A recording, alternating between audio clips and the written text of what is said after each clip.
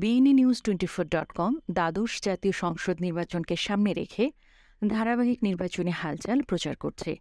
এতে উনিশশো একানব্বই সালের সাতাইশে ফেব্রুয়ারি অনুষ্ঠিত পঞ্চম জাতীয় সংসদ থেকে দু হাজার আঠারো সালে তিরিশে ডিসেম্বর অনুষ্ঠিত একাদশ সংসদ নির্বাচনের ওপর ভিত্তি করে রাজনৈতিক দলগুলোর আসন ভিত্তিক সাংগঠনিক হালচাল তুলে ধরার চেষ্টা করে যাচ্ছে BNE news twenty four dot com আজ থাকছে সিরাজগঞ্জ চার আসনের হালচাল।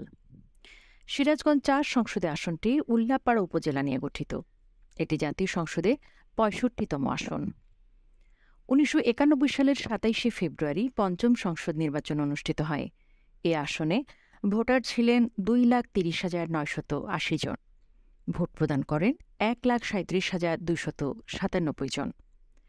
নির্বাচনে বিএনপির আকবর আলী বিজয় হন। ধানের শীষ প্রতীকে তিনি পান পঁয়তাল্লিশ হাজার পাঁচশত উনচল্লিশ ভোট। তার নিকটতম প্রতিদ্বন্দ্বী ছিলেন জামায়াতে ইসলামের আবু বকর সিদ্দিকী। দাঁড়িপাল্লা প্রতীকে তিনি পান একচল্লিশ হাজার ছয়শত সাঁত্রিশ ভোট। উনিশশো ছিয়ানব্বই সালের পনেরোই ফেব্রুয়ারি ষষ্ঠ জাতীয় সংসদ নির্বাচন অনুষ্ঠিত হয়। তত্ত্বাবধায়ক সরকারের দাবিতে আওয়ামী লীগ সহ সব বিরোধী দল এই নির্বাচন বর্জন করে ক্ষান্ত হয়নি প্রতিহতও করে। এই নির্বাচনে বিএনপি ফ্রিডম পার্টি এবং কিছু নাম সর্বস্ব রাজনৈতিক দল অখ্যাত ব্যক্তি প্রতিদ্বন্দ্বিতা করে। বিএনপির শামসুল আলমকে বিজয়ী ঘোষণা করা হয়। ষষ্ঠ জাতীয় সংসদ নির্বাচনের মাধ্যমে গঠিত এই সংসদের মেয়াদ ছিল মাত্র এগারো দিন। তত্ত্বাবধায়ক সরকার বিল পাশ হওয়ার পর সংসদ বিলুপ্ত ঘোষণা করা হয়। উনিশশো ছিয়ানব্বই সালের বারোই জুন সপ্তম সংসদ নির্বাচন অনুষ্ঠিত হয়। নির্বাচনে ভোটার ছিলেন দুই লাখ ষোলো হাজার তিনশত উনষাট জন। ভোট প্রদান করেন এক লাখ একষট্টি হাজার সাতশত নিরানব্বই জন। নির্বাচনে আওয়ামী লীগের আব্দুল লতিফ মির্জা বিজয়ী হন। নৌকা প্রতীকে তিনি পান আশি হাজার চারশত সাতাত্তর ভোট। তার নিকটতম প্রতিদ্বন্দ্বী ছিলেন বিএনপির এ ওয়াই মোহাম্মদ কামাল। ধানের শীষ প্রতীকে তিনি পান আটত্রিশ হাজার ছয়শত ছাব্বিশ ভোট।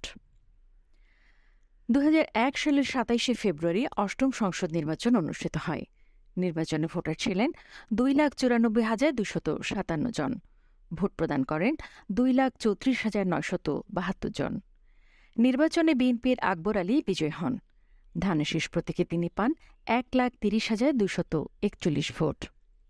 তার নিকটতম প্রতিদ্বন্দ্বী ছিলেন আওয়ামী লীগের আব্দুল লতিফ মির্জা।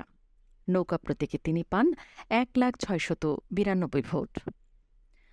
দু হাজার আট সালের উনত্রিশে ডিসেম্বর নবম সংসদ নির্বাচন অনুষ্ঠিত হয়। নির্বাচনে ভোটার ছিলেন তিন লাখ তেরো হাজার চারশত ছিয়াশি জন। ভোট প্রদান করেন দুই লাখ পঁচাশি হাজার আটশত বায়ান্ন জন। নির্বাচনে আওয়ামী লীগের মোহাম্মদ শফিকুল ইসলাম বিজয়ী হন। নৌকা প্রতীকে তিনি পান এক লাখ বাষট্টি হাজার পাঁচশত তিন ভোট। তার নিকটতম প্রতিদ্বন্দ্বী ছিলেন জামায়াত ইসলামী রফিকুল ইসলাম খান। দাঁড়িপাল্লা প্রতীকে তিনি পান সাতানব্বই হাজার চারশত তেষট্টি ভোট। দু হাজার চৌদ্দ সালের পাঁচই জানুয়ারি দশম জাতীয় সংসদ নির্বাচন অনুষ্ঠিত হয়।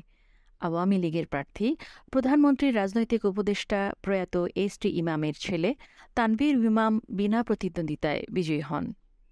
তত্ত্বাবধায়ক সরকারের দাবিতে বিএনপি নেতৃত্বাধীন বিশ দলীয় জোট এই নির্বাচনে অংশগ্রহণ করেনি। দু হাজার আঠারো সালের তিরিশে ডিসেম্বর একাদশ সংসদ নির্বাচন অনুষ্ঠিত হয়। নির্বাচনে ভোটার ছিলেন তিন লাখ একানব্বই হাজার একশত ষোলো জন। ভোট প্রদান করেন তিন লাখ পঁয়ত্রিশ হাজার তিনশত চুরানব্বই জন। নির্বাচনে প্রার্থী ছিলেন পাঁচজন নৌকা প্রতীকে আওয়ামী লীগের তানভীর ইমাম, ধানের শীষ প্রতীকে বিএনপি রফিকুল ইসলাম খান, হাত পাখা প্রতীকে ইসলামী আন্দোলন বাংলাদেশের আব্দুর রহমান গোলাপফুল প্রতীকে জাকির পার্টির জহির রায়হান, আম প্রতীকে ন্যাশনাল পিপলস পার্টির মুকুল হোসেন প্রতিদ্বন্দ্বিতা করেন। নির্বাচনে আওয়ামী লীগের তানভীর ইমাম বিজয়ী হন। নৌকা প্রতীকে তিনি পান তিন লাখ সাঁত্রিশ হাজার ছয় ভোট। তার নিকটতম প্রতিদ্বন্দ্বী ছিলেন বিএনপির রফিকুল ইসলাম খান। ধানের শীষ প্রতীকে তিনি পান মাত্র চব্বিশ হাজার আটশত তিরানব্বই ভোট। কারচুপির অভিযোগে বিএনপি নেতৃত্বাধীন জাতীয় ঐক্যফ্রন্ট নির্বাচন বর্জন ও ফলাফল প্রত্যাখ্যান করে। পর্যবেক্ষণে দেখা যায়, সিরাজগঞ্জ চার উল্লাপাড়া সংসদীয় আসনে পঞ্চম, ষষ্ঠ ও অষ্টম সংসদে টানা বিএনপি এবং সপ্তম, নবম, দশম ও একাদশ সংসদ নির্বাচনে আওয়ামী লীগ প্রার্থীরা বিজয়ী হন। দ্বাদশ সংসদ নির্বাচনকে সামনে রেখে বিএনএ নিউজ টোয়েন্টি ফোরের গবেষণা টিম দৈব চয়ন পদ্ধতিতে সারা দেশে জরিপ চালায়। জরিপে অংশগ্রহণকারী বেশিরভাগ ভোটার উনিশশো একানব্বই সালের পঞ্চম, উনিশশো ছিয়ানব্বই সালের সপ্তম দু হাজার এক সালের অষ্টম ও দু হাজার আট সালের নবম জাতীয় সংসদ নির্বাচনকে সুষ্ঠু, নিরপেক্ষ ও অংশগ্রহণমূলক হয়েছে বলে অভিমত ব্যক্ত করেন। তারই ভিত্তিতে BNA news twenty four Sirajganj চার আসনে পঞ্চম, সপ্তম, অষ্টম ও নবম এই চারটি নির্বাচনের প্রদত্ত ভোটের পরিসংখ্যানকে মানদণ্ড ধরে আওয়ামী লীগ বিএনপি ও জাতীয় পার্টির সাংগঠনিক শক্তি বিশ্লেষণের মাধ্যমে একটি কল্পানুমান উপস্থাপনের চেষ্টা করেছে। অনুসন্ধানে দেখা যায় উনিশশো একানব্বই সালের পঞ্চম সংসদ নির্বাচনে ভোট প্রদান করেন উনষাট দশমিক চার চার শতাংশ ভোটার।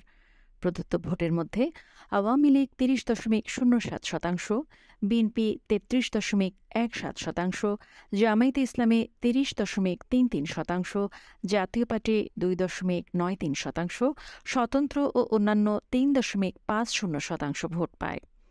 উনিশশো ছিয়ানব্বই সালের সপ্তম সংসদ নির্বাচনে ভোট প্রদান করেন চুয়াত্তর দশমিক সাত আট শতাংশ ভোটার।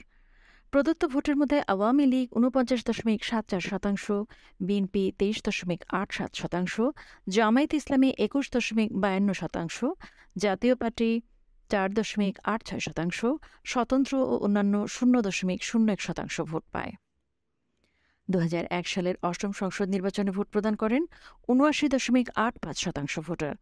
প্রদত্ত ভোটের মধ্যে আওয়ামী লীগ বিয়াল্লিশ দশমিক আট পাঁচ শতাংশ, চার দলীয় জোট পঞ্চান্ন দশমিক চার তিন শতাংশ, জাতীয় পার্টি এক দশমিক তিন ছয় শতাংশ, স্বতন্ত্র ও অন্যান্য শূন্য দশমিক তিন ছয় শতাংশ ভোট পায়। দুহাজার আট সালে নবম সংসদ নির্বাচনে ভোট প্রদান করেন একানব্বই দশমিক এক আট শতাংশ ভোটার। প্রদত্ত ভোটের মধ্যে চোদ্দ দলীয় জোট ছাপ্পান্ন দশমিক আট পাঁচ শতাংশ চার দলীয় জোট চৌত্রিশ দশমিক এক শূন্য শতাংশ, স্বতন্ত্র ও অন্যান্য দল নয় দশমিক শূন্য পাঁচ শতাংশ ভোট পায়। সিরাজগঞ্জ চার উল্লাপাড়া আসনটির বর্তমান সংসদ সদস্য প্রধানমন্ত্রীর প্রয়াত রাজনৈতিক উপদেষ্টা এইচ টি ইমামের ছেলে তানভীর ইমাম। তিনি দ্বাদশ জাতীয় সংসদ নির্বাচনে আবারও মনোনয়ন চাইবেন। আওয়ামী লীগ থেকে এই আসনে আরও মনোনয়ন চাইবেন সাবেক সংসদ সদস্য ও উল্লাপাড়া উপজেলা চেয়ারম্যান শফিকুল ইসলাম শফি। সাবেক উপজেলা চেয়ারম্যান জাহিদুল হক জাহিদ, সাবেক সংসদ সদস্য আব্দুল লতিফ মির্জার কন্যা মুক্তি মির্জা এবং পৌর mayor S M Nazrul Islam. BNP থেকে মনোনয়ন চাইবেন সাবেক সংসদ সদস্য আকবর আলী, উল্লাপাড়া উপজেলা বিএনপির আহ্বায়ক আব্দুল ওহাব বিএনপির জাতীয় নির্বাহী কমিটির সদস্য শিমকি ইমাম, জেলা বিএনপির সহসভাপতি কে এম শরফুদ্দিন মঞ্জু। নিবন্ধন বাতিল হওয়ায় বিশ দলীয় জোটের অন্যতম শরিক জামায়াতে ইসলামের দলীয় প্রতীক নিয়ে নির্বাচনে প্রতিদ্বন্দ্বিতা করতে পারবে না। সেক্ষেত্রে সাবেক কেন্দ্রীয় সেক্রেটারি রফিকুল ইসলাম খান বিএনপির ধানের শীষ প্রতীক নিয়ে নির্বাচন করার চেষ্টা তদবির করবেন। জাতীয় পার্টি থেকে মনোনয়ন চাইবেন উল্লাপাড়া উপজেলা জাতীয় পার্টির আহ্বায়ক নূর মোহাম্মদ বাবু এবং উল্লাপাড়া পৌর জাতীয় পার্টির সাধারণ সম্পাদক আব্দুল আজিজ শেখ। ইসলামী আন্দোলন বাংলাদেশ থেকে মনোনয়ন চাইবেন উল্লাপাড়া উপজেলা সভাপতি মুফতি আব্দুর রহমান ও সাধারণ সম্পাদক মাওলানা মনসুর। এছাড়া জাকের পার্টি থেকে মনোনয়ন চাইবেন একাদশ জাতীয় সংসদের প্রার্থী জহির রায়হান ও ন্যাশনাল পিপলস পার্টির মুকুল হোসেন। তথ্য উপাত্ত বিশ্লেষণে দেখা যায় সিরাজগঞ্জ চার আসনটি বিএনপি ও জামায়াত ইসলামের শক্ত ঘাঁটি। যদিও আওয়ামী লীগ ক্ষমতাসীন হওয়ার পর থেকে সাংগঠনিক ও উন্নয়ন কর্মকাণ্ডের মাধ্যমে একটি শক্ত অবস্থান তৈরি করেছে। এই আসনে জাতীয় পার্টির সাংগঠনিক তৎপরতা নেই। পঞ্চম জাতীয় সংসদ নির্বাচনে এই আসনটির প্রতিনিধিত্ব করছে জামায়াতে ইসলামী।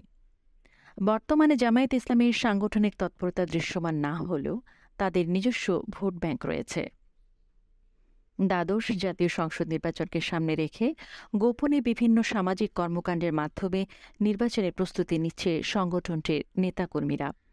বিএনপি ও জামায়াতে ইসলামী জোটগত নির্বাচন করলে এবং দ্বাদশ সংসদ নির্বাচন সুষ্ঠু, নিরপেক্ষ ও অংশগ্রহণমূলক হলে জাতীয় সংসদের পঁয়ষট্টিতম সিরাজগঞ্জ চার আসনটিতে ধারাবাহিক জয় ধরে রাখতে পারবে কিনা তা নিয়ে সংশয় রয়েছে। প্রতিবেদনটি ভালো লাগলে শেয়ার করুন, অন্যদের জানার সুযোগ দিন। প্রতিদিন ধারাবাহিকভাবে প্রচারিত আসন ভিত্তিক গবেষণামূলক প্রতিবেদনগুলো দেখুন এবং নিজের রাজনৈতিক জ্ঞানকে সমৃদ্ধ করুন। লাইক, কমেন্ট ও সাবস্ক্রাইব করে ভিনি নিউজ টোয়েন্টি ফোরের সঙ্গেই থাকুন।